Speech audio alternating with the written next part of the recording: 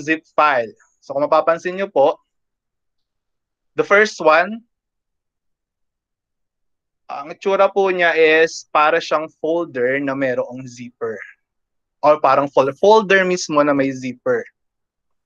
So meron namang cases kapag meron na kayong mga downloaded na um, or installed software para sa uh, such as WinRAR or 7-zip, ang makikita nyo po is uh, itong uh, stack of books na mayroong belt. So bundled with belt. So yan po yung ibig sabihin po niyan is yung file na dinownload ninyo is zip file. So kinakailangan niyo po siyang i-extract or i-unzip. So to extract a zip file, para po sa mga hindi pa marunong mag-extract, tuturo ko na rin po sa inyo. For example, na-download nyo na. So halimbawa nga wala kayong compression software installed, wala kayong uh, WinRAR, wala kayong uh, 7-zip. So meron tayong two methods. First, one is to uh, right-click on the file ira-right click nyo. Then, click extract all. So this opens uh, the default extraction tool in Windows. Simply select the destination. So saselect, uh, saselect lang kayo kung saan nyo i-extract yung file, kung saan nyo ilalagay yung extracted file. Or pwede nyo rin namang leave at uh, as it is and click the extract button. So kapag na successfully extracted na, ito na yung makikita. Yan. So ganun na. Makikita nyo na mismo yung uh, pinakang Excel file niya. Yan po yung tsura niya. Okay, so ano yung second method? Second method natin is by uh, opening or uh, double-clicking the zip file. So, double-click nyo siya. So, this does not open uh, any other program or window. So, hindi siya mag-open ng kahit anong program or window. Doon, pag na-double-click nyo, doon, nyo agad, uh, doon agad siya papasok sa loob nun. File Explorer, uh, File Explorer windows and looks as if you've just opened a regular folder with a single Excel file, but do not be fooled. So, hindi hindi porket na i-double click nyo po yung uh, folder uh, yung folder na yon, yung zip folder na yon, hindi po ibig sabihin noon is extracted na po yung file. Huwag po kayong maloloko ng ganun kasi po ibig sabihin, hindi pa po siya extracted. So ano po ang gagawin niyo para ma-extract siya? Ang gagawin niyo po is to drag and drop it to your desktop. Ayan po. Yan yung gagawin ninyo. Drag and drop to desktop para po ma-extract yung file. So yan po yung pangalawang paraan natin. Okay, so uh, meron po ba ritong Mac user or yung uh, nating mga teachers na ang gamit is MacBook? So sa MacBook, uh, mga Mac users po, double click lang po, automatic na po yun na may extract yung file. So now we are through with uh, step 1, yung pagda-download. Sa mga hindi pa nakaka-download, yun po yung step uh, pwede natin gawin. So meron pero meron din po tayong uh, file na, na uh, ready to download na, na nandoon po sa ating uh, messenger. Okay, so next step is to encode the Ratis data. So sino pa rin po ang gagawa dapat nito? Yung ating rater. So hindi pa po tayo papasok dun sa step 2. Sa 4 po tayo, sa step 4 po tayo papasok.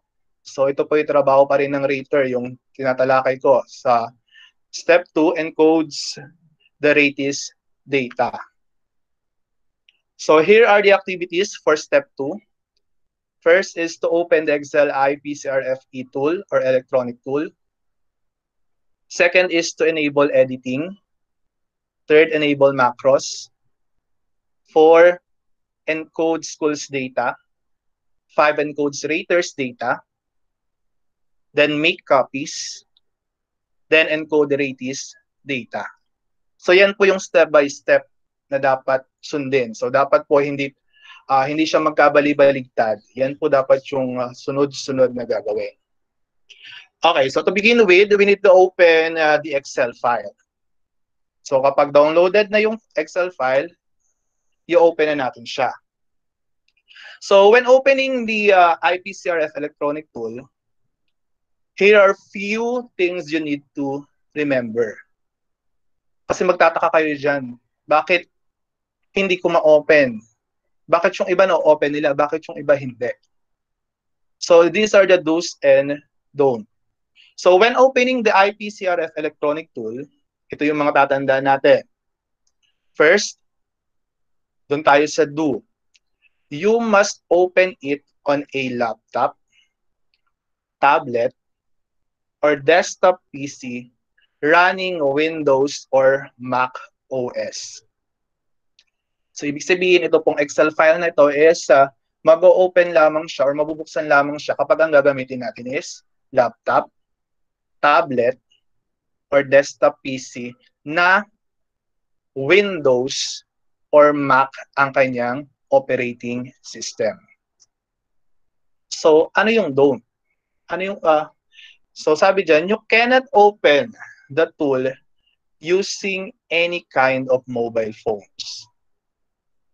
Kaya nga po pinadownload sa inyo yan, laptop ang gagamitin, hindi po kayo pwedeng gumamit ng cellphone kasi hindi po siya mag-open sa phone ninyo. Kahit yan ay Android or iPhone. Tablets running Android or Windows RT, the iPad, or Chromebooks, and other laptops running Windows RT. So, hopefully lahat naman po dito, alam ko is uh, mayroong mga laptop yung iba which is uh, Windows na po yung kanyang operating system. Then meron na rin po tayong uh, uh, tawag dito Office 365 na binigay sa inyo. Hopefully na uh, ano niyo na po yan, i-sign in niyo na yon, pwede po 'yon. Okay, so in addition, the types of compatible devices here is a list of the programs and apps you can and cannot use to open the IPCRF electronic tool. So you can open the tool using the desktop app of Microsoft Office Excel with the following version. Do not use the on, uh, online web version of Microsoft Excel because macros aren't supported. Wag po kayong gagamit ng Office na pa-online. Kasi po hindi po siya supported ng macros. And yung file na gagamitin natin is embedded ng macros. So meaning, hindi po siya mag-open. So ano lang po yung pwede? Yan po. Microsoft Office Excel na 2010 na Windows, 2013 na Windows, 2016 na Windows, or pwede rin na uh, Mac, 2019 na Windows or Mac, and the Office 365 na Windows and Mac. So mag-o-open po siya doon. Huwag po kayong mag-o-open ng Excel or nitong IPCRF natin na file sa um, na, uh, program na naka-Mac kayo Dun, uh, wag niyo pong i-open yung mga numbers. Wag niyo i-open yung, uh, hindi po siya mag-open sa Office Excel 2008, Microsoft Office Excel 2011 kapag Mac. Hindi rin po siya nag-open sa Google Sheets. Gaya nga po ng sinabi ko sa inyo kanina, bawal po siya sa online since it is uh, macro embedded. So hindi rin po siya pwede sa WPS Office spreadsheet, yung mga pangkaraniwan na makikita natin sa mobile phones. Hindi rin siya pwede sa LibreOffice. Okay, so uh, when the tool is opened, Excel automatically puts the file in protected view. For security reasons, it does this for files downloaded from the internet. So kung mapapansin nyo po, kapag po tayo ay nag-download ng mga files galing internet, pag first time po nating inopen yung file, lagi po siyang naka-protected view. So ano po ang gagawin natin? Since downloaded siya, Ayan, protected view. Mapapansin niyo yung yellow bar. Nakalagay dyan is protected view. So, doon sa may pinakang ilalim nung ating ribbon. So, this one, protected view under punong ribbon. So, anong gagawin natin? So, you need to click the enable editing button so you can begin editing the file. Otherwise, it will remain disabled in protected view. So on the Mac, so kapag sa mga Mac users, it is more straightforward. Excel will greet you with a dialog box with an alert asking whether to enable or disable editing. So syempre, kiklik nyo yung enable editing. So sa mga naka-Mac po yun, pero kapag window user kayo, sa taas po, makikita nyo yun click nyo lang po yung enable editing. Next one, pag na-click nyo na po yung enable editing, biglang may lalabas again na security warning. So, you also need to enable the macros which are disabled by default. Naka-default po kasi yung ating uh, Excel file na naka-disabled yung mga macros. So hindi po gagana yung ating Excel or yung mga formulas doon kapag hindi po natin na-enable yung content. So anong gagawin?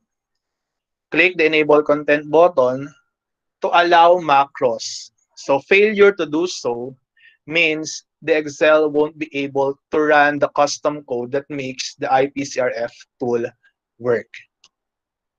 So wag pong kakalimutan yung step na yan. Lagi niyong i-enable yung content, yung macros. Yan. So after nyan, so sa Windows, kapag hindi nyo nakita yung enable content button in the yellow bar below the ribbon, it does not necessarily mean that the macros are already enabled. Nabuksan ko yung file. Pero after kong uh, i-click yung protected view na okay ko na, na-enable ko na, di na naman lumabas yung uh, macros. Ibig sabihin ba nun ay enabled na yung macros? So, para makita natin na talagang enabled na yung macros, so anong gagawin natin? Click natin yung file, file menu, uh, click nyo po siya. Then, in the available options on the vertical panel to the left, find the options. Hanapin niyo yung options, yung pinaka nasa baba. Yan. So, click niyo yung options. So, nasa pinakang bottom po siya para, uh, again, file, then options. Then, anong susunod? click the Trust Center. So find and click the Trust Center option. So pangkaraniwan siya po ay nasa may pinakang baba ng list ng options. Pag na-click yung options, then makikita niyo yung Trust Center sa pinakang baba. So in Trust Center, find and click the Trust Center setting button. So i-click niyo yung Trust Center uh, setting buttons. So the Trust Center uh, dialog box opens. So in the panel to the left, find and click the macro settings. Nasa kaliwa po siya, yung macro setting. Pag na-click nyo po yung macro setting, mapapansin niyo na disabled yung macros. So, para makasigurado kayo naka-enable, syempre, click nyo yung enable all macros. So kapag na-click nyo po siya, So mag-activate siya. Then click OK. So kapag na-click niyo yung OK, then uh, magre-return kayo sa Excel Options dialog box. Then i-click niyo ulit yung OK. So pagkatapos, i-close nyo po ulit yung workbook. So kapag na-close nyo na yung uh, workbook, syempre, i-open nyo ulit siya. Close all open Excel workbooks and restart the Excel. So meaning, i-open nyo ulit after nyong i-close. So para makasigurado na kayo na naka-enable na po yung mga macros niya. Okay, so so I assuming that you have enabled the macros, you should now be ready to encode the ratee and the rater's uh, data into the form. But before that, I'd like you to take a little detour. Tingnan natin kung ano ba yung mga parts. Let's look at the different parts of the tool so it makes sense to you kapag nag-encode na po kayo ng data. Okay, so this Excel uh, workbook has four usable tabs or sheets. So may pinakambaba, makikita niyo meron siyang apat na usable tabs or sheets. You can usually find the sheets at the bottom of the Excel window. The electronic tool has the templates for all the parts of the IPCRF, each on its own tab. These are the part 1 to 4 tabs. But the first tab you'll see when you open the tool is the encoding tab. Meron siyang apat na part. Yung pinakang panglima niya, yung pinaka nasa unahan is the encoding tab. So, ano ba yung mga properties nitong mga tabs na to and sheets? So, doon sa encoding part, editable po siya pwede natin siyang i-edit, but it is protected. Hindi rin po siya pwedeng i-print. Doon naman po sa tab para sa part 1, hindi siya pwedeng i-edit. Protected siya, pero pwede siyang i-print. Doon sa pangalawang tab, ah, pangatlong tab, which is part 2, ah, ganun din po, Same with part 1. Hindi siya pwedeng i-edit. Protected siya, pero pwede siyang i-print. Doon sa part 3, ganun din, same. Part 4 ng ating tab, ayan, pwede siyang i-edit. Hindi rin siya protected. At pwede din siyang i-print. So, yan po yung mga properties. Baka kasi magtaka kayo, na, uh, na-click yung part 1, part 1, part, part 3, akala nyo mag encode doon. Hindi po. Hindi nyo po kasi siya pwedeng i-edit. Doon lang po kayo mag-e-edit sa encoding tab at saka doon sa part 4. Okay, so ito po yung itsura ng encoding tab. Ayan.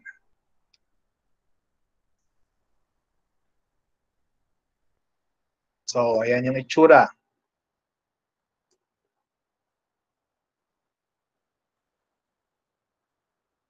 So gaya po rin sa step na nabanggit ko, dapat po ang una nating i-encode is doon sa school's data.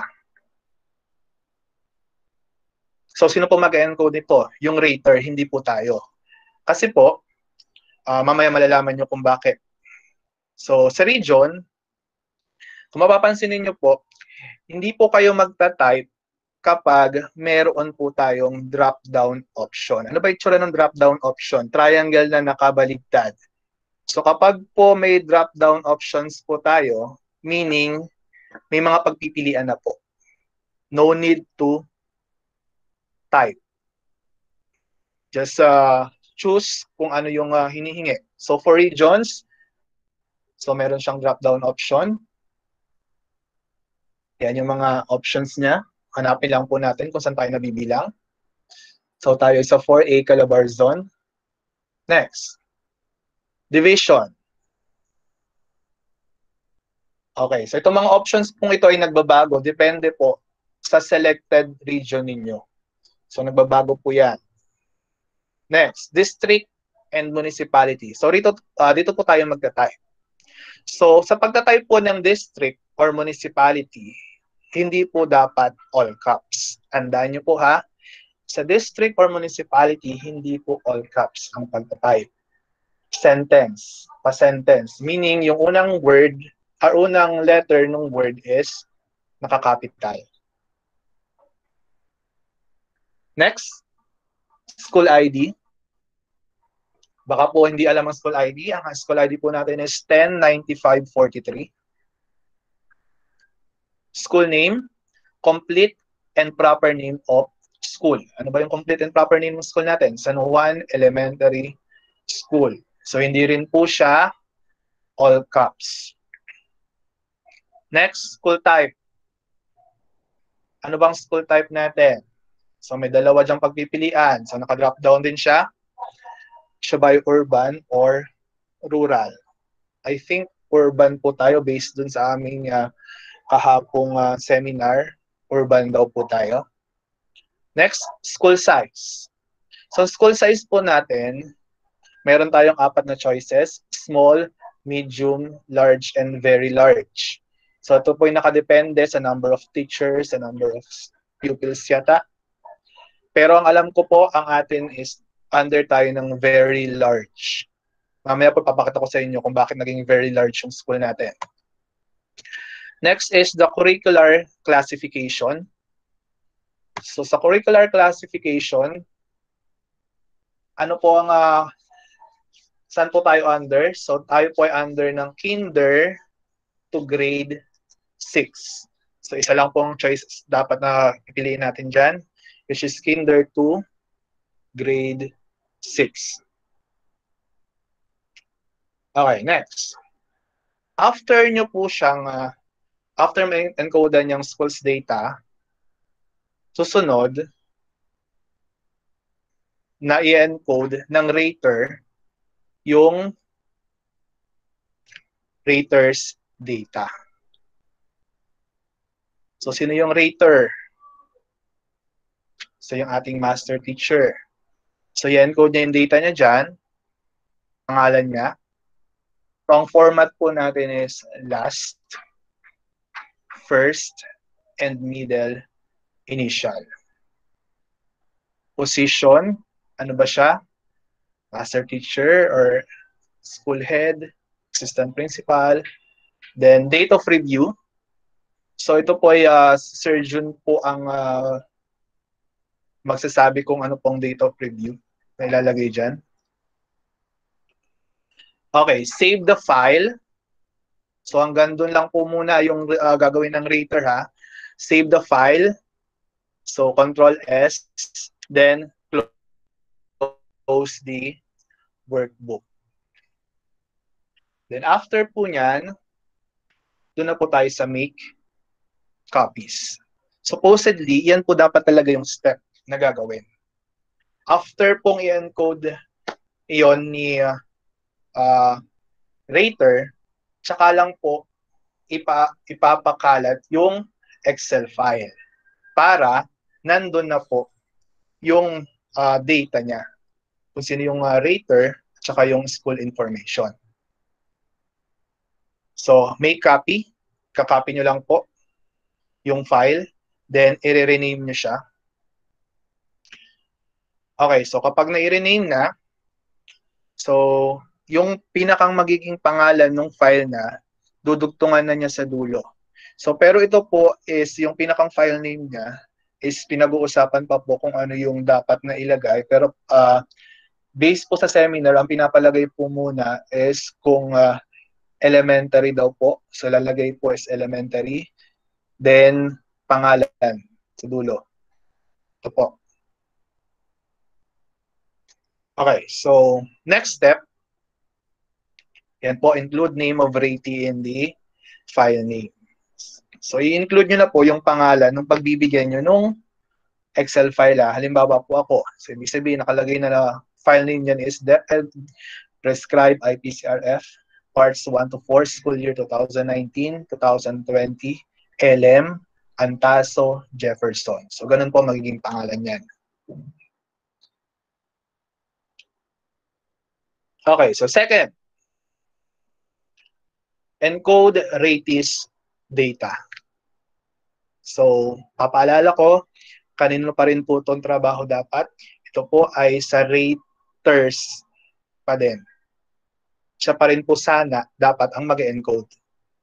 Yun po yung, kung talagang sunod po natin, siya pa rin po yung mag-encode nung ratis data. Okay. So, name of employee. So, pangalan nung kung sino yung i-rate niya. So, ang uh, paglalagay po, pagka-type po dito is all caps. Tandaan po natin, all caps. Lahat ay capital letter. So, position. So, meron po diyang uh, naka-drop down pa rin options. Ang mga position na pwedeng pagpilian. So, we have teacher 1 to 3, SPET 1 to 5, master teacher, so on. So, employee ID number. So mamaya may magtatanong dyan. Wala pa po kaming employee ID number. So sasagutin po natin yung mga questions niyo about dyan. Next one, employment status. So meron tayo apat na pagpipilian. Regular, permanent, provisional, substitute, and contractual. Then age, age bracket po, kung saan po kayo nabibilang. Sex, may dalawa tayong uh, choices, male and female. Yan, level taught. So, kindergarten, elementary, junior high, and senior high. Grade level taught. Ayan po, may pagpipilian din tayo dyan. Okay, so ito naman po, selecting ALS in the subject taught, disable this field. So wala naman po tayong ALS, so pwede na natin siyang hindi uh, click. Okay, so ano yung subject thought? Pwede nyo, uh, pwede nyo i-click yung all subjects. Ayan. Para sa atin po kasi ang alam po, pwede sa atin all subjects kasi elementary tayo. So kapag na-click nyo syempre senior high, may iba po yon Magiging strand po yung lalalabasan dyan. So kapag na-click nyo elementary, iba rin po yung pagpipilian. Next, number of years in teaching. So 0 to 3, 4 to 10, or more than 10 years. Highest degree obtained. So bachelor, master's, or doctorate. So area of specialization. Ano pong area of special, specialization ninyo? Yan. Okay, so tapos na tayo doon sa encode Seratis data. So ito na yung progress ng ating uh, pinag-uusapan. Okay, next step natin is en, uh, encodes part 1 or the COT and the IPCRF rating. Kanino pa rin po yan? Sa rater pa rin po. Si rater pa rin po ang gagawa niyan.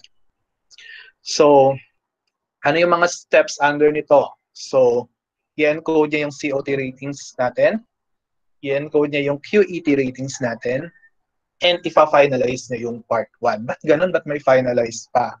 Kasi po, malalaman nyo rin po yan maya maya. Yan. So, encode COT ratings. So, rito po, sa COT1, yan, pipili po meron po ulit dyan na pagpipilian kung anong subject yung na-observe sa inyo. So, nandiyan yung mga pagpipilian kung anong unang subject ang ni-observe sa inyo, which is your COT1. Next, i-encode yung ratings niya. Ayan, kung anong uh, nakuha niya.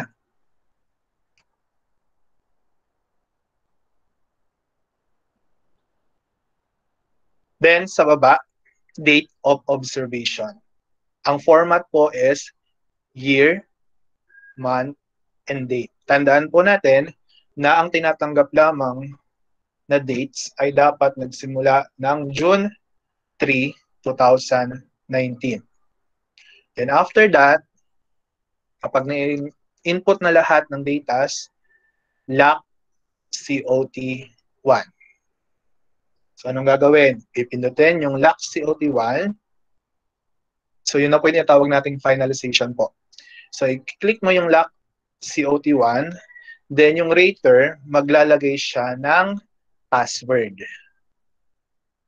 So the rater must enter a password minimum of 6 characters with which to lock this file. Certain actions will henceforth require you to enter the password you input here to proceed.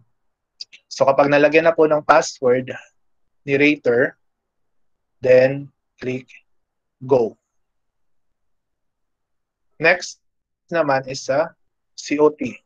Tandaan po natin, kapag po hindi na-finalize or na-lock yung COT1, hindi po kayo magpo-proceed sa COT2.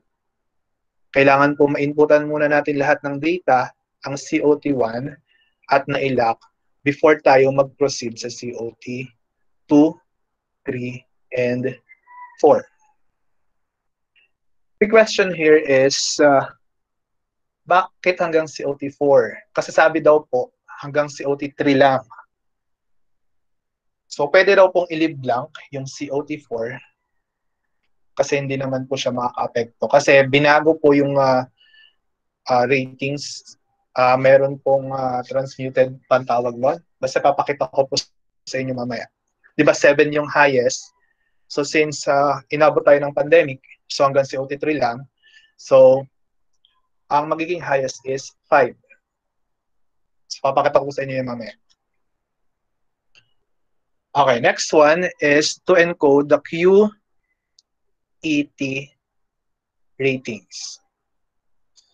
So,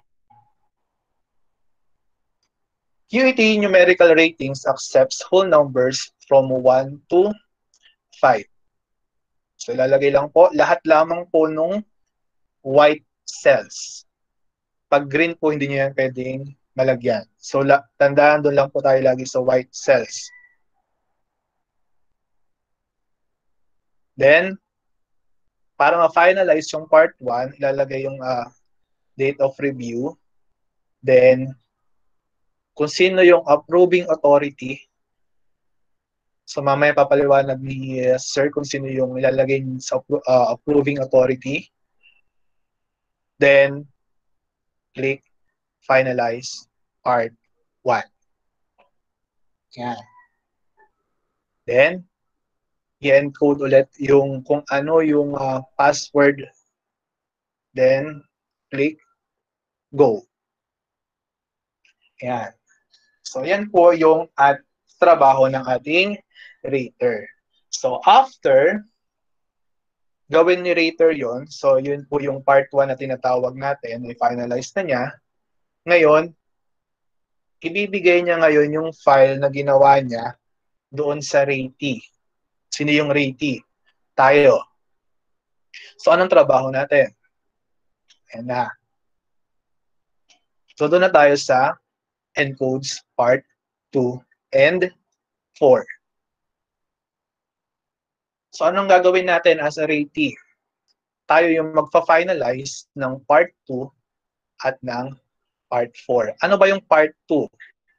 So, ang part 2 is yung tinatawag nating core behavioral competencies. So dito sa core behavioral competencies, hindi po tayo basta dyan pindot ng pindot. Hindi po tayo dyan basta click lang ng click. Dapat po is uh, honest tayo sa pagsasagot. Kung ano yung talaga, yun yung i-click natin. Then, after nyan, finalize part 2. Then, si Rati is mag-i-input ng password. So, nasa pag-uusap po yan ng rater at ng ratee kung ano yung password na ilalagay niya. Then, so kapag nailagay na po yung password, again, minimum of 6 characters pa din po. Finalize part 2, then Go. After nyan, dun tayo sa part 4. Dito po sa uh, part 4, so kapag mag encode po kayo dyan, ang sabi po is, dapat with the help of the rater. So yung rater at yung ratee is dapat ano, magkatulong sa paggawa ng mga developmental or development plans niya. So after encode yung mga development plans, strengths, development needs, action plans, etc. Yan. Ilalagay na po niya yung, ah, i-click na po niya yung finalize part 4. Then, again, ilalagay si password. Then, click go. After niya, doon sa part 4, uh, part 2 and part 4, anong gagawin ni Reiki?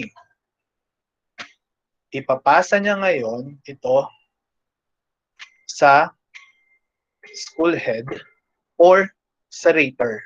So, alin po sa dalawa? Para i-submit online. Yun po yung ating trabaho para ma-accomplish natin yung IPCRF. So that's it. So ito tayo sa mga frequently asked questions sa pag-accomplish ng IPC RF. So question, as I start using the file, some feature seems not working properly. What can I do? Habang nagtatype ka, napapansin mo, uh, bakit ganun? bakit nag-error? Bakit parang hindi niya kinocompute automatically? Eh supposedly, itong Excel file na ito is automatic na nagko-compute. Kasi nga po, gaya ng sinabi kanina, dapat ang gamit ninyong Office is 2010 or yung mas bago pa. At make sure, yung tinuro ko sa inyo kanina, naka-enabled po lahat ng macros. Okay. Next question. Who initiates the accomplishment of EIP CRF?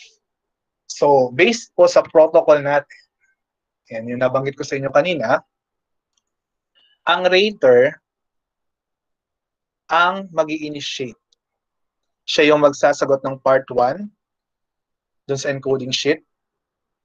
Included na dito yung uh, teacher, rater, region, division, school demographics, COT, and QET. So tinuro ko na rin sa inyo kung paano yon. Kaya lang, ito po ang sabi, given the current COVID-19 situation, the ratee may initiate the encoding of his or her demographic profile and the COT ratings. The rater consequently ensures that all information are uh, recorded accurately during the rate-rater conference. So meaning, um, nakasalalay pa rin po sa magiging desisyon ng ating rater kung ano ang gagawin. It's either siya po ba ang mag-encode or tayo as a ratee. The file is for proficient teachers. Where is the file for highly proficient teachers? So after downloading the default file is for proficient teachers, However, selecting from the position field in part 1 of the encoding sheet shows the file tool appropriate to the position selected. So kung mapapansin nyo po, um, depende po sa posisyon na pinili ninyo, nagbabago po yung, uh, yung sheet yung kulay ng sheet. So kapag master teacher po, nagiging blue po yun. Papakita ko po sa inyo sa hands-on mamaya. So the drop-down options for level taught and grade level taught do not appear. What should I do? Hindi lumabas yung uh, mga options sa level taught tsaka grade level taught. Hindi rin nagpakita anong gagawin. Start by filling out the fields for region, division, school information, particularly the curricular classification field. Ayan po. Kinakailangan, unahin po talaga na sagutan yung nasa may upper right, which is the school information. Kasi kinakailangan uh, yung curricular classification is tama para mag-appear yung grade level taught at saka yung level taught. So, hindi natin pansinin yan sa senior high school na po yung sunod. What will I choose for school size? Ano raw po, ayan yung, uh, yung ano kanina, anong school size natin? So, for the sole purpose of the uh, EIPCRF for school year 2019-2020, the school size parameters will adhere to the existing 2020 Brigada Eskwela Implementing Guidelines. So, sunod daw po tayo sa Brigada Eskwela Implementing Guidelines. Ito po yon school size. Saan tayo under? So, meron tayong tinatawag na small school, medium school, large school, and very large school. Kung mapapansin nyo po, in elementary level, dito po tayo sa taas. Hindi natin papansinin yung baba. So, saan tayo? Number of teachers. National. So, di ba tayo is 84 if I'm not mistaken. So, 84. So, under tayo ng 51 and above. So, tayo ay mega school. Yan. Yan yung naging reason bakit mega school. Okay, so another question. There are restrictions in the employee number. What shall I do? Yan yung tanong, ah, yung sabi ko sa inyo kanina. Paano yung walang mga employee number? Anong gagawin ko? So the file currently uploaded in the link has no restrictions in the employee number. So meaning kahit wala kayong ilagay na employee number is magpapatuloy.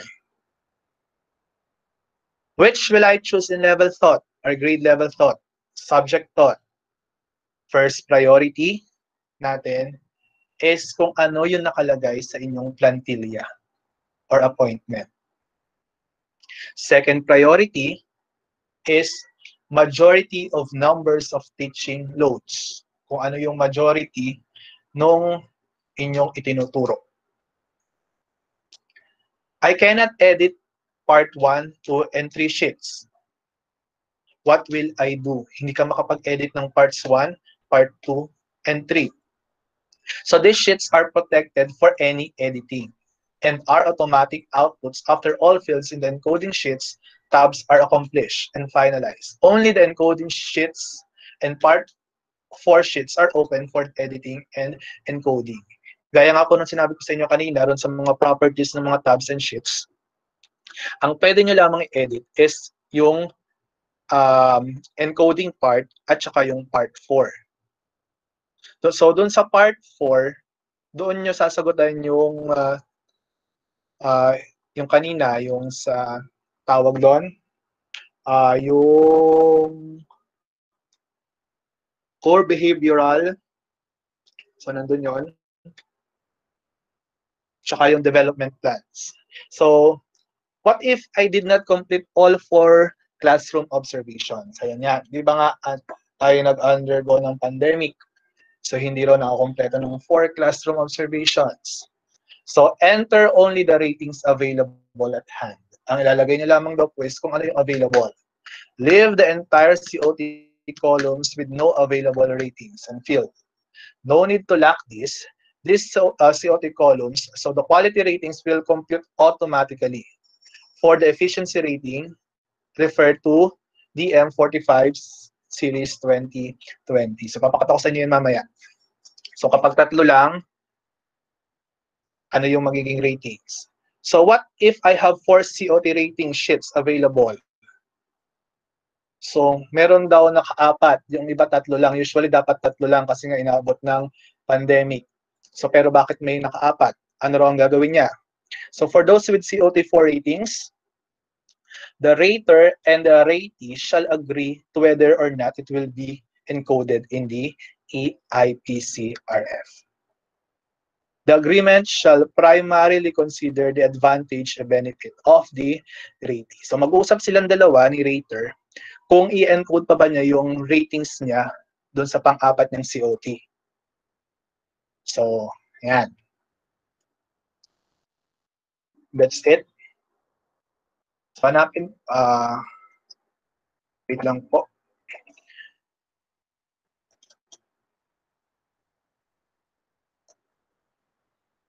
So, hanapin lang natin yung about sa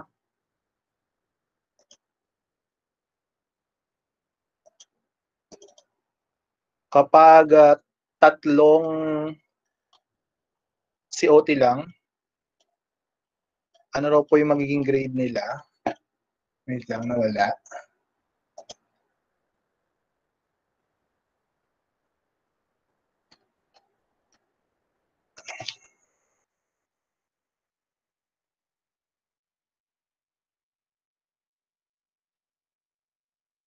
Ito po. Yan.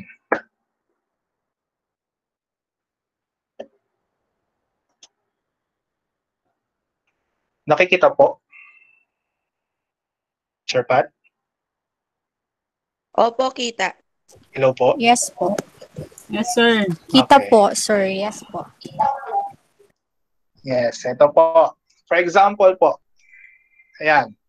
So gaya po ng sinabi ko sa inyo kanina, since uh, ang ating naging uh, COT is umabot lamang ng tatlo. So highest is 7. So ang transmuted RPMS rating po niya, kung siya ay naka 7, is magiging 5.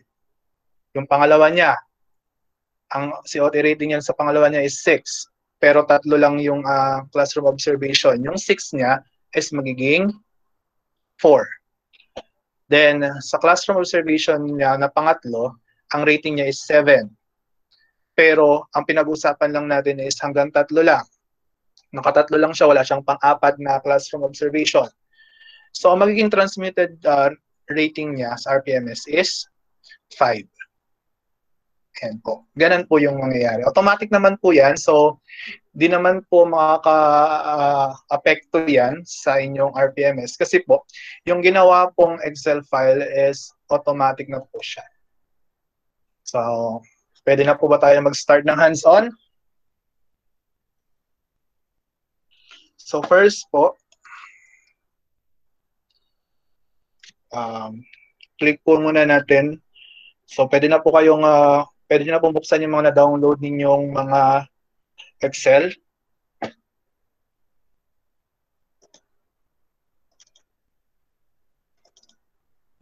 So ito po is, uh, yung nasa akin po, ano na siya, um, okay na po siya, na i-ano ko na siya, na i-unzip ko na.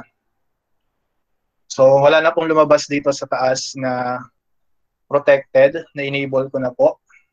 So para to make uh, to make sure lamang po na talagang naka-enable na yung macros, ano po yung step natin? Ulit. First, click po natin yung file. Pag na-click natin yung file, dito tayo sa options, pinakang baba. So pag na-click yung options, Sunod is, i-click natin yung Trust Center na nasa pinakababa din. Pag na-click yung Trust Center, i-click natin yung Trust Center Settings. Pag na-click yung Trust, uh, Trust Center Settings, click nyo po yung Macro Settings. Then, dapat po, nakalagay dito is Enable All Macros. Usually nakalagay po diyan dito sa disable all macros po yan eh.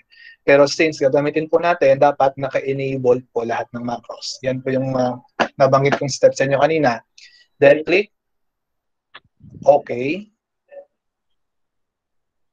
Po. Po. Ay, Jeff, saglit lang. Dahan-dahan. Dahan-dahan. Ay, mabilis po ba? Da- wag Sorry po, mabilis. sorry po. Sorry po. Ito naman, nagsasorry na nga po eh. Ah, nasa na po?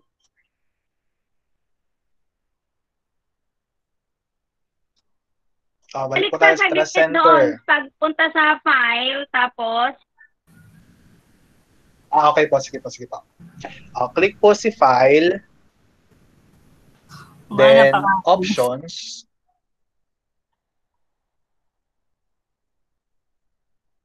Ito po options sa baba. Pag na-click nyo po, magkakaroon, lalabas po yung uh, dialog box. Then, sa may pinakababa po niya, nandun yung Trust Center. So, kapag na-click po yung Trust Center, lalabas po yung uh, Trust Center Settings. Pag na-click nyo po yung Trust Center Settings, Yan. I-click nyo po yung macro settings.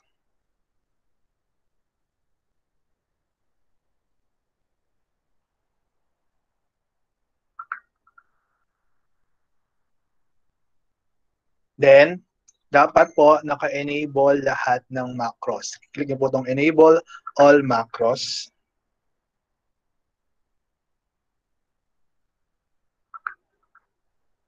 Then, click OK. Pag na-click nyo yung OK, i-click nyo po ulit yung isa pang OK.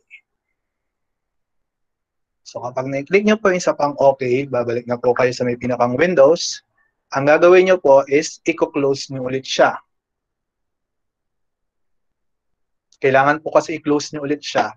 So kapag na-close nyo po ulit siya, ayun, bubuksan nyo ulit para makasigurado lang po kayo na lahat ng macros ay enabled na. Yan. So, after po niyan, pwede na po tayong mag-encode. Gaya po na nabanggit sa inyo kanina, ang uunahin niyo pong i-encode ay dito sa may pinakang um, school information. Okay, so let's try. Hands-on tayo. So region, anong region natin? So we have uh, 4A Calabarzon. So la lagi mo ang ninyong i-check kung mayroong uh, drop down. Kapag may drop down po, hindi po tayo magta-type. Pipili lang po tayo. Excuse me, Sir Jeff. Okay, so we have 4A. Ka- Ay, hindi po ba naka-share screen? Hindi po. Wait lang po.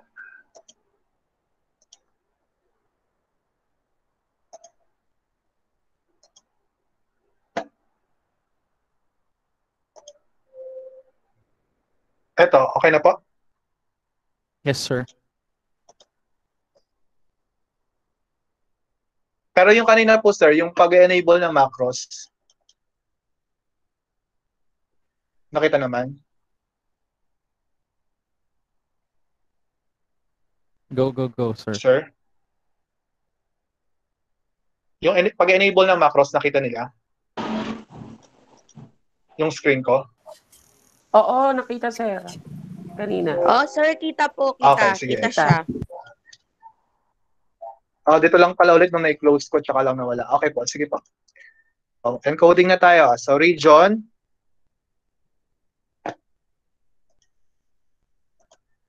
So, we have for A Calabarzon.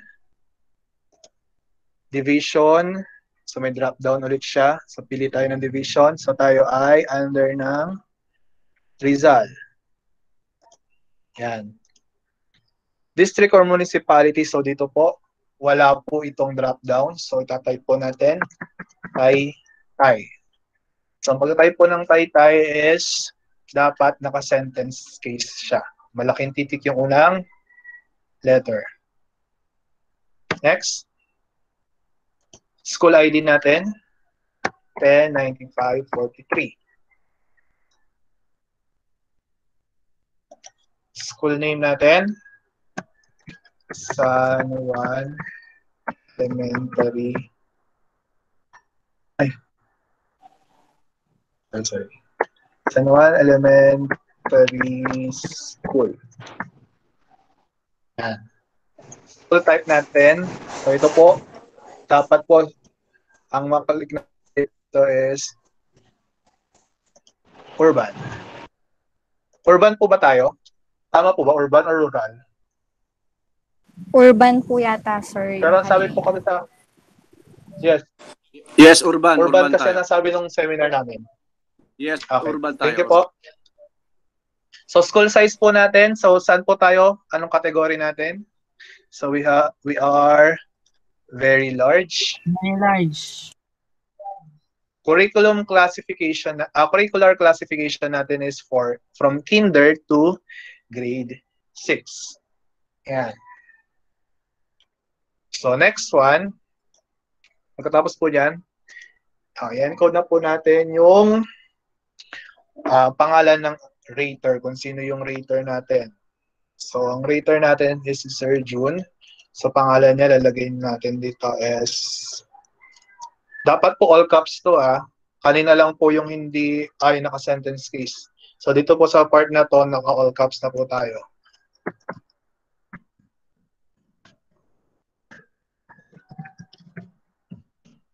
And Carlito G. Os Castro Jr.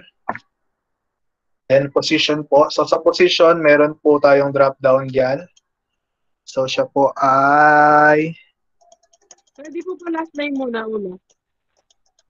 Sir, di ba po last name po muna? ano ba nailagay? Ah, sorry po, sorry po. Oo nga po.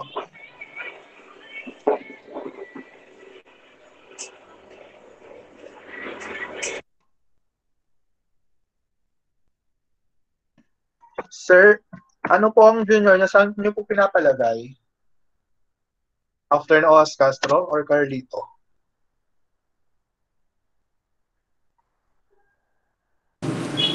Rojas Castro Jr. Rojas Castro Jr. Okay po. Kama Carlito. Okay. Thank you, sir. Ayan po. Ayan. Sorry po kanina. Last name po muna ah. Then position po. So, ang position is Master Teacher 1. Ayan. So, sa date of review po, dapat pare-parehas po tayo. Sir, ano pong ipapalagay nating date of review?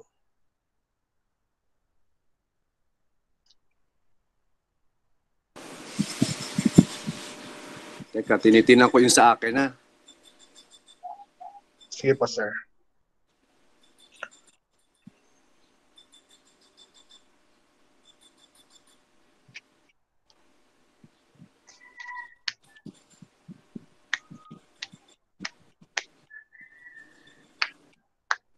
February 15. 2020. Pakicheck nga ako anong araw February- yun. Pakicheck nga yung February 15, 2020. February 15 is uh, Saturday po. Ah, okay. So gawin natin February ah, sige na, February 14. Gawin natin February 14. Okay. So, una po is uh, year po ah. Pagkatay po year. Then month is uh, 02. Then date is 14.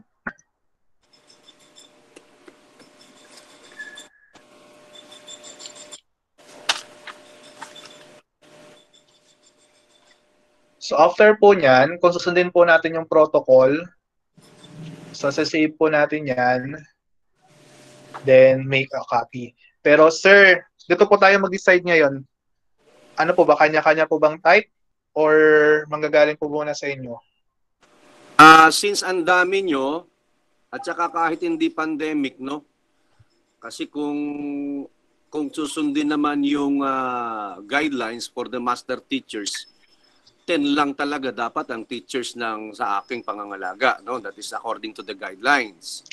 Since sa guidelines pa lang ay hindi na rin tumatama ang ratio and proportion sa akin sa number of teachers because nag-iisa lang naman ako, kanya-kanya na muna ta. Kanya-kanya tayo kanya-kanya tayo ng encoding. Ah, okay po. Ang magiging basis nyo, ngayon meron ako meron dito, meron ako na i-post kahapon, no?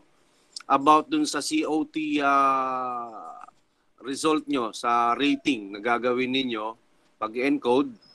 Ang magiging reference nyo ay yung result nyo ng COT number 1 kasi sa totoo lang, 'di ba, nag-iisa lang naman ako eh yung ang iba hindi nga na na-observe because of the pandemic. So dun sa mga na-observe, use your rating doon sa COT na aking ah, i-rate sa inyo. Doon naman sa na-rate ko na medyo mababa sa una kasi talaga I will not mention your names. Medyo mababa talaga kasi karamihan naman is 6. So ano ba yung grade ng 6 from 1 to 5? 'Di ba? That is number 4.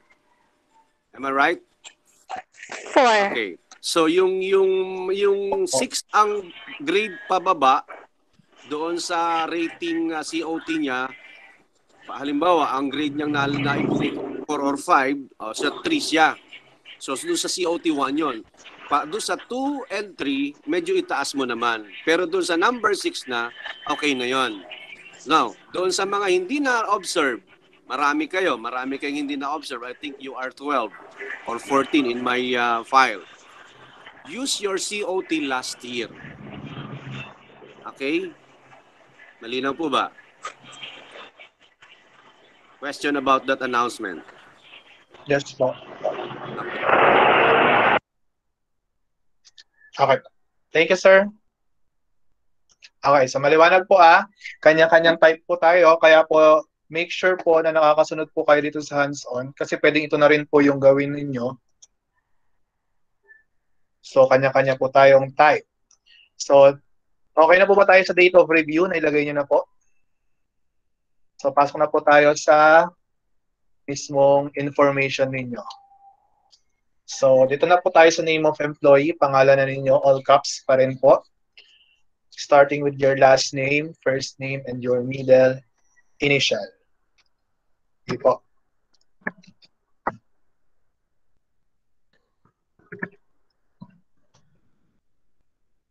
Middle initial po ah, hindi po middle name.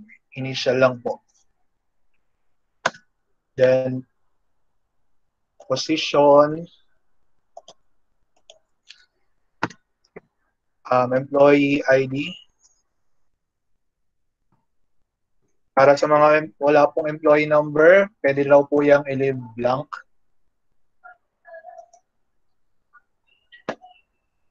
Then employment status.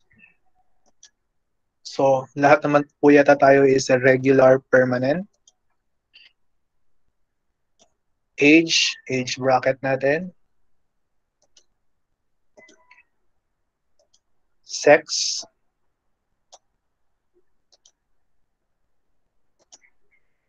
so level thought. So kung mapapansin nyo po, kanina di ba madaming ah, choices dito. So ngayon naging ah, kindergarten at elementary na lang siya. Kasi po ang nilagay natin sa curricular ah, classification is kinder to grade 6. So kung nakalagay sa plantilla ninyo is kinder, so kinder po. Kung hindi naman, edi elementary po. Grade level taught. Ay, baka nakita sa kinder. Okay, grade level taught. So, ako grade 5. So, subject taught. Ano po tayo? Kung ano po yung pinaka marami ninyong naituturo. So, para po sa grades 1 to 3, all subjects po sila. So since sa 4, 5, 6 tayo ay ah, nagpapalitan, so ano raw po yung pinakamarami ninyong naituturo. Okay, so for example, ako Filipino. Um, ang pagbabasehan po natin dito is yung last year po ha, 2019, 2020, hindi po yung kung ano ituturo nyo ngayong school year. Last school year po, 1920. Next number of years in teaching, highest degree.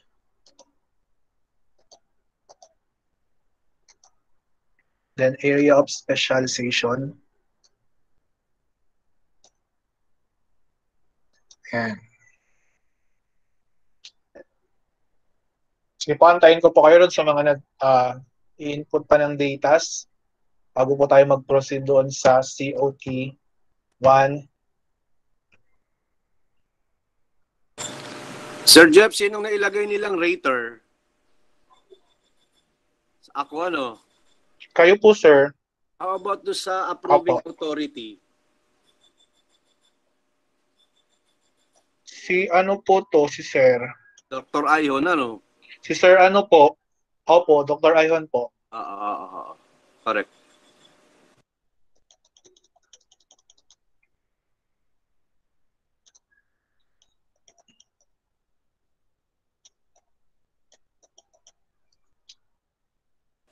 Principal ano ba ang Dr. Ayhon?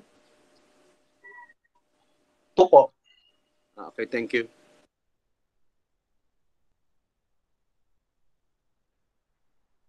Okay po. Tandaan niyo po ba yung mga ratings niyo sa COT?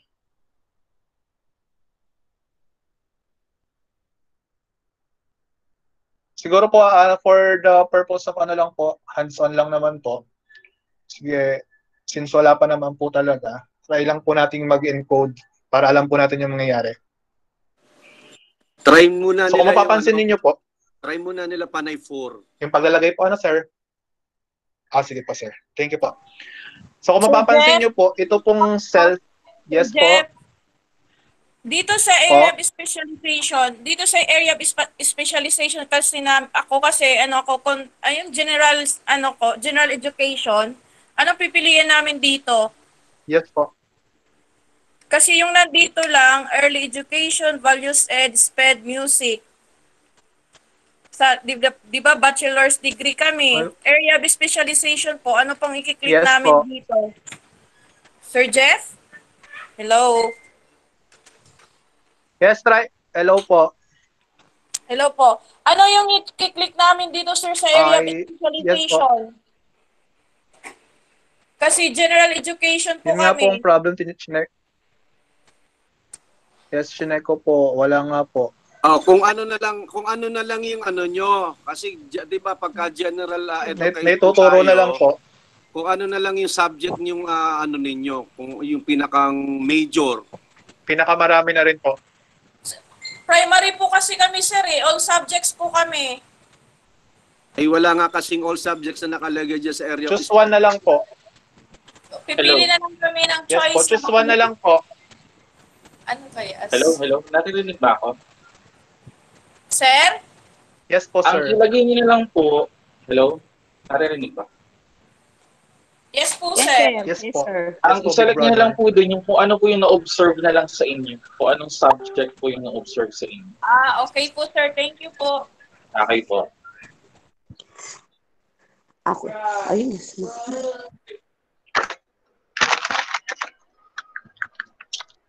Okay po. So sige po, pamute na po ulit.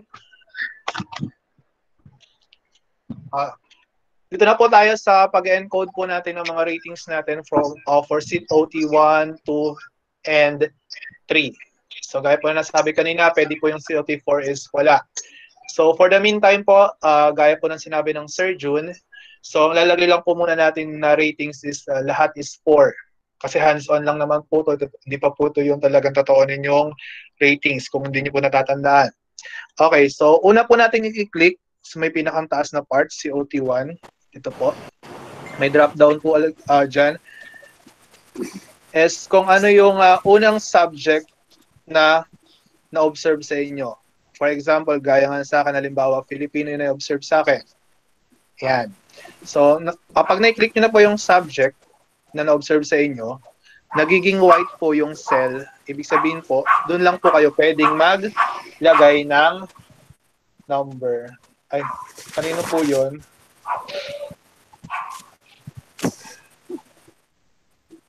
Okay, so for the meantime po, lahat po ay 4. Yan. After po niyan, after nyo po may input lahat nung ah, ratings ninyo, do, ilalagay nyo na po yung date observed, kailan kayo na-observe. Again, so ang format po natin is magsisimula po tayo ng year, month, and date. So for example, observe ako ng um, halimbawa August 15. Halimbawa lang. So August, June, July, August 8. So 8 and 15. Yan. So after nyo pong ilagay yung uh, date observed, i-click nyo po ngayon yung lock COT 1. Yan. So, lalabas na po yung uh, kanina na sinasabi ko na nalagyan nyo po ng password. So, dito po, para madali po matandaan, uh, pwede po magkasundo na tayo kung ano po mga password na lalagay natin. For instance, for example, po yung gaya ng ginagawa ko sa inyo dati, um, halimbawa, 109543, first name, or apelyido. Ah, Sir Jeff, excuse me. Hello. Po? Hello, Sir Jeff. Yes po, sir. Kasi for para ma'am na, na may access Yes din po. ako, mayroon na ako na i-prepare na ah, ano nyo, password for your IPCRF. Ito ang magiging password Ah, okay po, natin. sir. all all caps ha, all caps. Makinig. Walang walang space ito.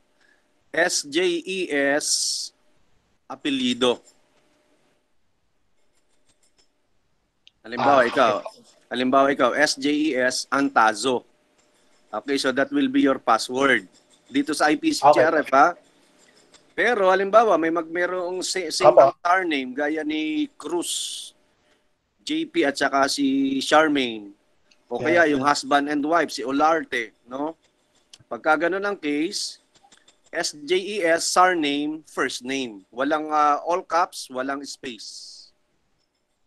Halimbawa, SJES, Olarte, Herbert. SJES, Olarte, Jemary. Okay?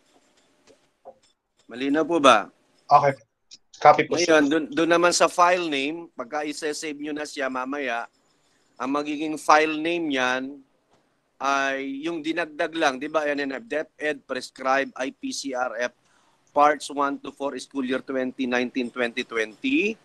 Lalagyan lang ng DAS, surname, Elementary. ah ulit, ulit. Ah, DAS, surname, DAS name, DAS San Juan, ES, DAS Taytay. Isusiyano ko mamaya, isa-send ko. Okay, yeah? Ilalagay ko Okay dito sa chat box. Okay po. Thank you, sir. Okay, so gaya po ng sabi ng sir, ang ating po magiging password is SJES, then first, uh, surname. All caps po. Wait lang. All caps na ba ako? Correct, correct, correct. All cap.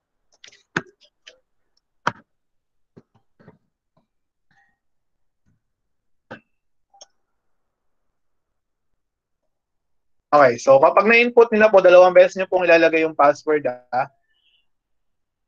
I-click nyo na po yung go.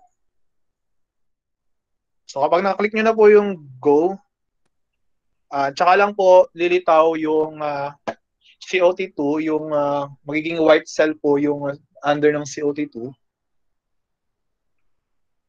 So again, same procedure po sa pag-encode sa COT1. Lagay din po yung pangalawang subject. Halimbawa, ah sumunod naman is math.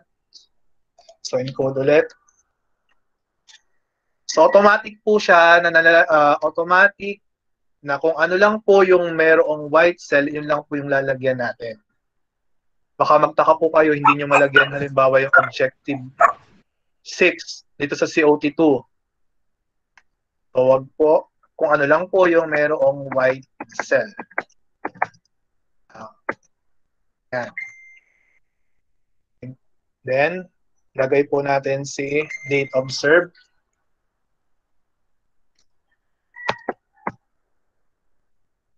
Bawa ay yan. September 12, 2019. Then same, lock again. passport. Kung mapapansin niyo po, isa na lang siya. Di katulad dun sa COT1, dalawa kasi nagpa-confirm password pa po doon. So since dito po sa nasa COT2 na tayo, ilalagay niyo na lang po uh, ng isang beses yung password na nilagay niyo sa COT1. Same lang po. Yan. Then click Go. Then COT3. Same, ah, same procedure lang po.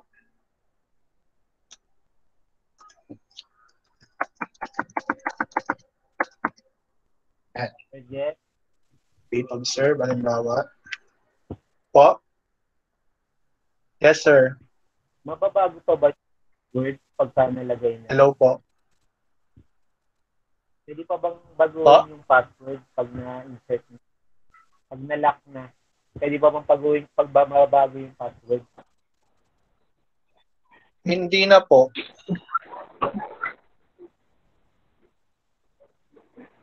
Ang gagawin niyo na lang po kapag ah, halimbawa nagkamali kayo na na-input na password is gagawa na lang po ulit kayo ng panibagong file. Lahat. Okay po? Okay. If 3,000 lang chok allowance mo. 3-5. 3,000 3,000 lang. 3-5. Ang kulit mo. Una nga pumasok yung choke allowance nung 15. Kaya naging 17. Ayun, ano. 2 plus lang yung refund. Pakimute po yung mic. Abo, ano yan? Ano yung refund? Sir Jeff? Sir Jeff? Jen, Sorry. ulit. Yes po. Yes po. Remind ko lang po. May break po ba Ano tayo? yun, survey? 12 na po, sir. Remind ko lang po yung time natin. sir. Thank you. Ah, okay po. Sir Pat, may break time daw po ba? Ah, alam nyo, pa- pag okay lang naman kayo kumain habang nag-aano eh. Ah, Okay po. Sige po. Baka po may nagugutom. Pwede daw pong kumain habang ah, nag, ano po, hands-on. Thank you, Sir Ohas Castro and Sir Jeff. Pagpuput, pagpuputulin pa natin to, eh, magseset na Sir naman Jun, tayo. blanco ang CO4. Sir Jun, blanco ang COT4 na. Sir Yes. Jen, may tanong po ulit Yes ako. po. Ah, sir, dito po sa date observed, di po ba one time lang kami na-observe? Papalitan na lang po namin ng ano, ng date. Yes, of course. Alimbawa, yung COT, kung alimbawa kayo ay na-observe nung second quarter or third quarter, eh, Eh. yung COT1 ay yun ay itapat nyo ng first quarter. Okay, Yung yes. COT2, ilagay nyo ng second quarter. Yung CO3, gawin yung third quarter ang date. Okay po, sir. Thank you po.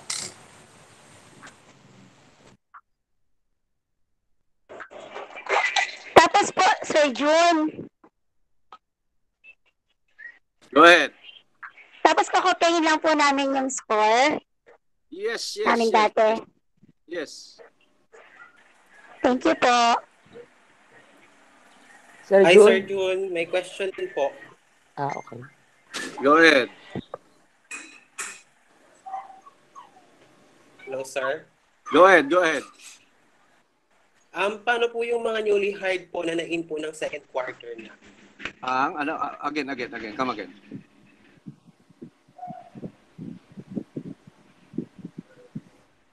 Sir, yung mga newly hired daw po na na-in ng second quarter. Ay, oo nga, no? Oh, sige, ganito na lang. Yung mga newly hired na, na ano ng second quarter, pwede namang mag-start ang date mo lang sa second quarter onward. Hanggang doon sa hanggang sa date ng pandemic para makompleto yung COT 1, 2 and 3.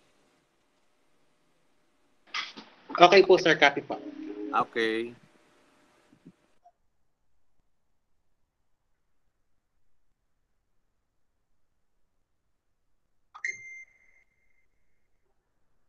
Okay na po? Pwede na tayo mag-proceed?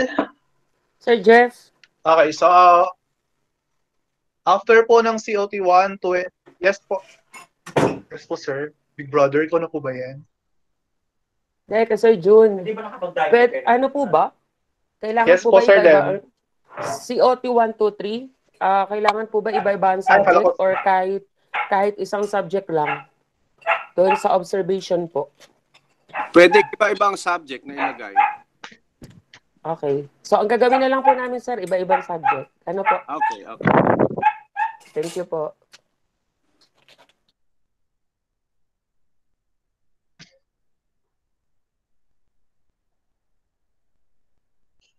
Okay, so dumako na po tayo rito sa IPCRF numerical ratings, bandang kanan po. So, doon po sa ah, uh, COT4, so wag niyo na lang po yung pansinin Wag nyo na rin pong ilak. Hanggang doon lang po sa COT, uh, COT3 ang ilalak natin. So, dito po sa IPCRF numerical ratings natin, so ang tatanggapin lang po niyang numbers ay whole numbers from numbers 1 to 5. So, since uh, hands-on lang naman po to, pwede po tayong mag-decide kung anong numbers ang pwede natin ilagay. So, hindi na po ako magbabago, puro 4 na lang po. Sige. Basta po tandaan, lagi pong sa white cell lang. Lahat po ng mga white cells lang ang ating lalagyan ng data.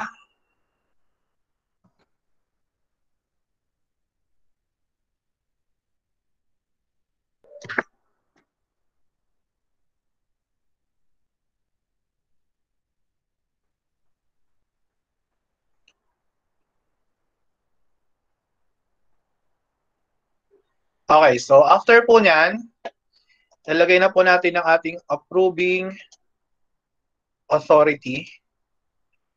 So ang ating approving authority po ay si Dr. Virgilio Ayhon. All caps, last name, Ayhon. First name, Virgilio R.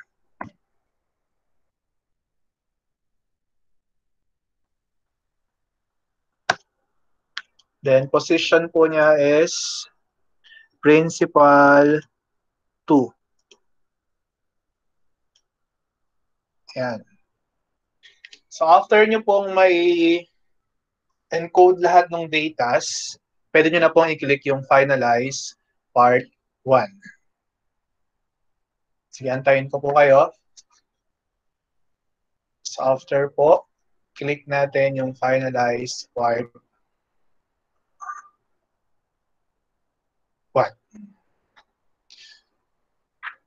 So may lalabas po dyan, you have not completed the 4 COT ratings. You only lacked 3 COT ratings so far. Are you sure you want to continue finalizing part 1? So syempre po, wala tayong COT4, so click natin yung yes. Then, hihingin po ulit yung ating password. So type nyo lang po yung inyong password. Then click go. So kung mapapansin niyo, kapag po nag-finalize kayo ng data, yung ating pong cell from green ay nagiging color pink. So kapag naging pink po siya, meaning okay na po yung data natin, naka-finalize na siya, i-click na po natin yung okay. So after po niyan, ma-finalize yung part 1, ito na po tayo sa part 2 which is core behavioral uh, behavioral competencies. Gaya po ng sinabi ko sa inyo kanina, huwag lang po basta click ng click. Be honest po sa pagsasagot.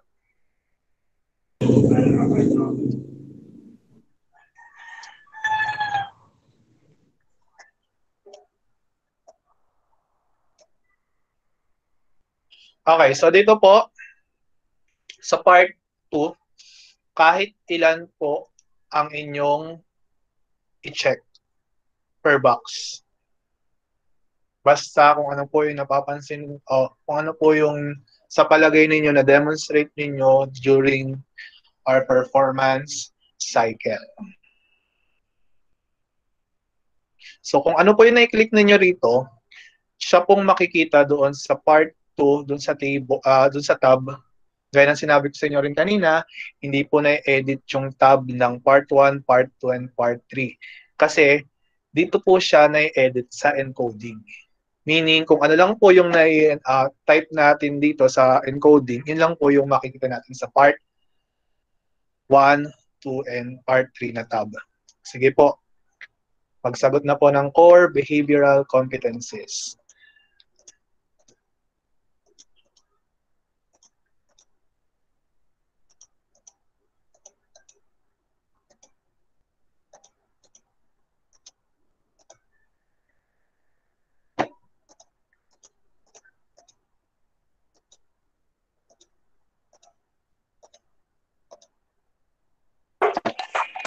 Sir Jeff?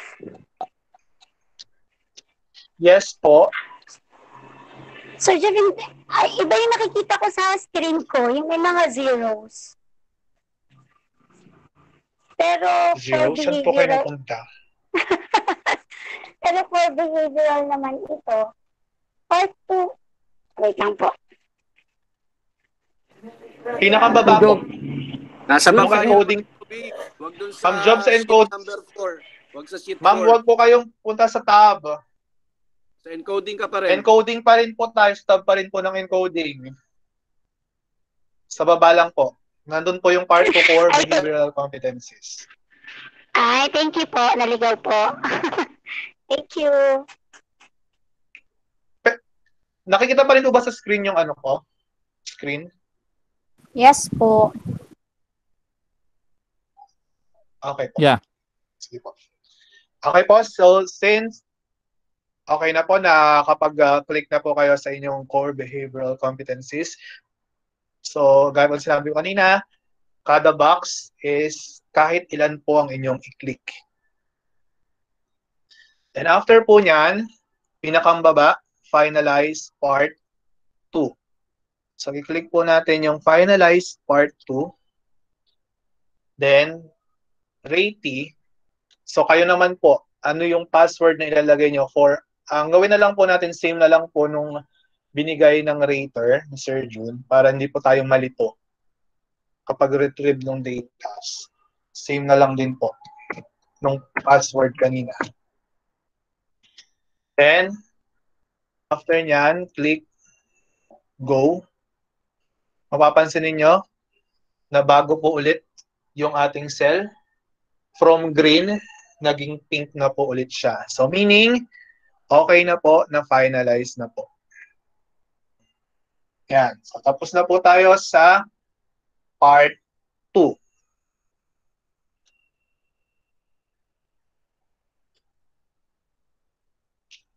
Yan, antay lang po tayo sa iba. Hindi pa po tayo tapos dyan. Meron pa po tayong i-encode.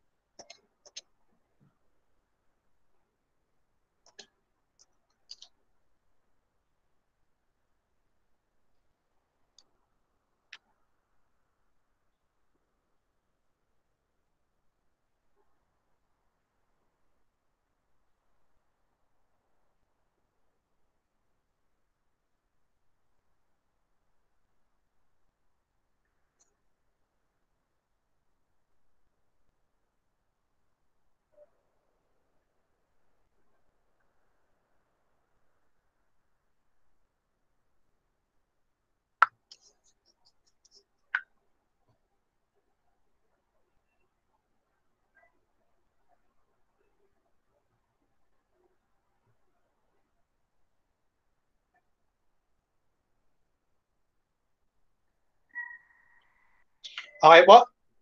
Sige, let's proceed na po.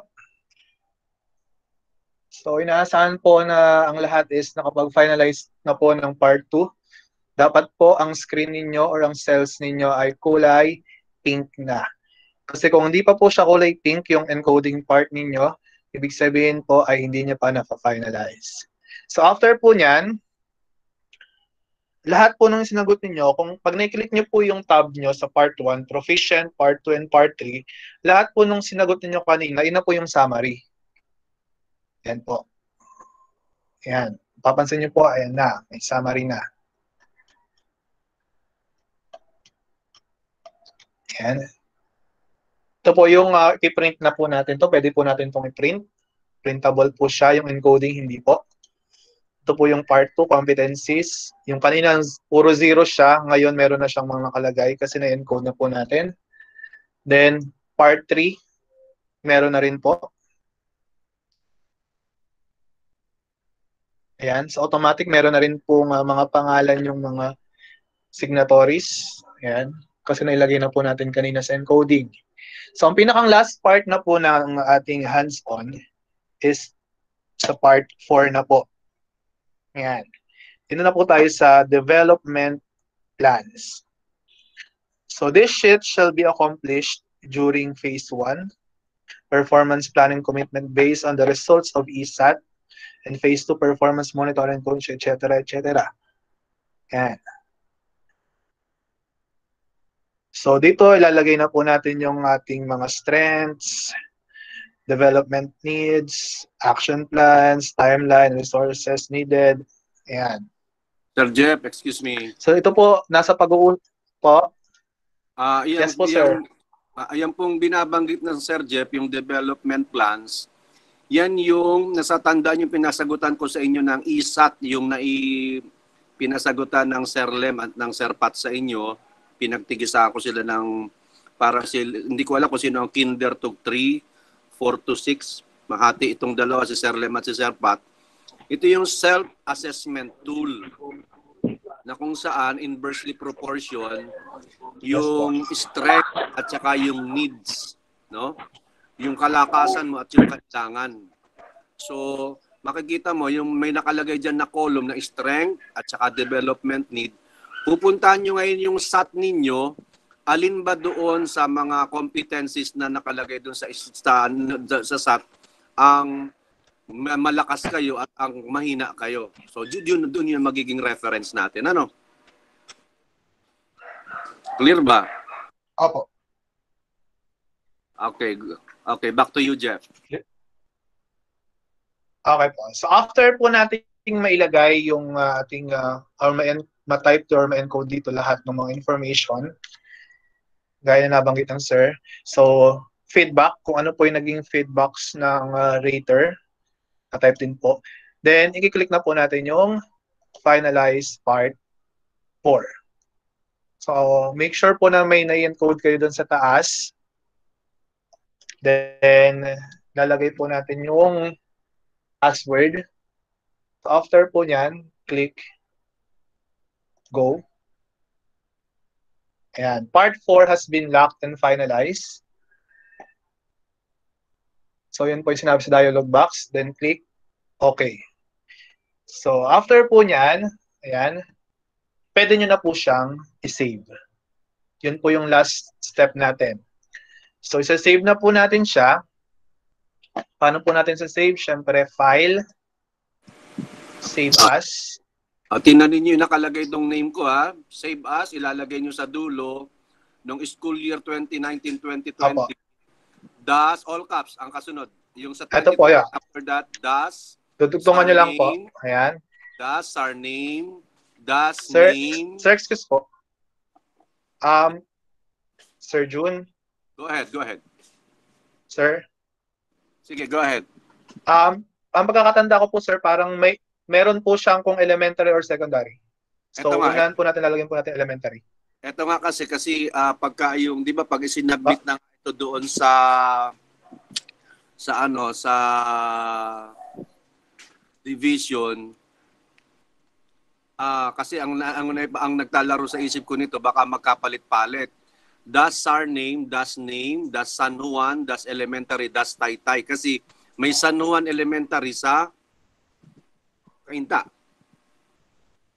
Baka pag sasabit natin, Ah, okay. mapalit, mapalit siya doon. Kaya, kaya nila pinalagyan ko ng taytay. Okay, bali po, sir, surname, dash, ba, Name. kaso, Da, uh, das Ano ba, surname, sir? kaso, das Jeffrey, dash, das San Juan, das elementary, das taytay. Yon. Anyway, kung magkakaroon naman ng... Paulit nga, sir! ayan Sir, po. paulit nga! Tingnan nyo yung chat box. Naroon sa chat box. Tingin kayo sa chat box. Ito po, nakikita niyo po, nakikita niyo po ba yung screen ko? Yes po. Ito na po, nailagay ko po sa, ano, hindi ko pa po nakiklik yung save. Yeah. Ah, pag na-save as nyo po siya, nakalagay na po, dudugtungan nyo lang po yung dulo ng dash, surname, dash, first name, dash, San Juan, dash, elementary, dash, taytay.